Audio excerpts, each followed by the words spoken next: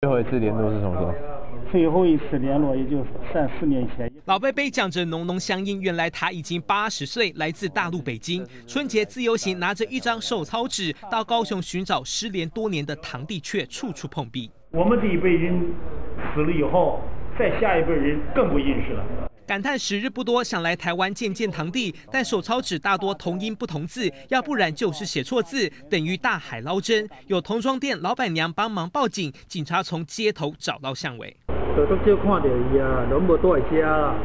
好不容易找到老贝贝堂弟住处，但早就搬家，快要放弃时，发现手抄纸上有一个模糊的姓名。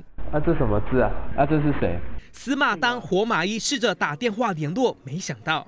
哎，你好，我这边顶金派出所，因为好像是你们的那个亲戚。终于联络到一名远房亲戚，在辗转查出老贝贝堂弟的住处和电话，两人终于晚间在警局团聚。有没有见过面啊？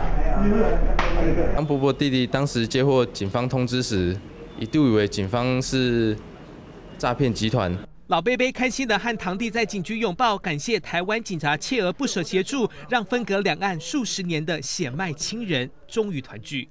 记者梁嘉文高雄报道。